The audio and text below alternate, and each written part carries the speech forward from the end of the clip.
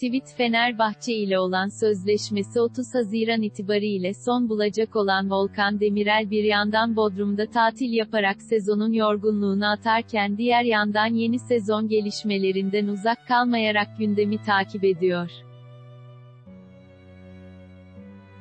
Hemen hemen her fırsatta futbolu F, bahçede bırakmak istediğini belirten Volkan'ın Aziz Yıldırım'ın seçimde kaybedip başkanlığa Ali Koç'un gelmesinin ardından geleceğinin ne olacağı merak konusu.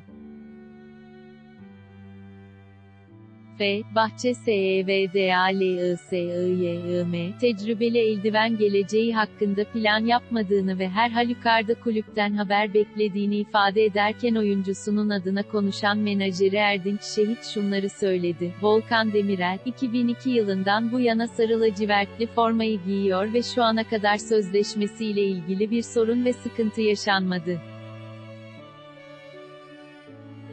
Görüşmelerimiz 5 dakikayı geçmez. Önümüze bir sözleşme konur ve imzalar çıkarız. Volkan, 1907 TL'ye imza atar. Şu an kulübümüz bir değişim içinde. Gelecekle ilgili plan ve projeler var. Tribünde davul çalarken takım kaptanlığına kadar yükselen Volkan Demirel, nasıl bir F, Bahçeli olduğumu herkes bilir.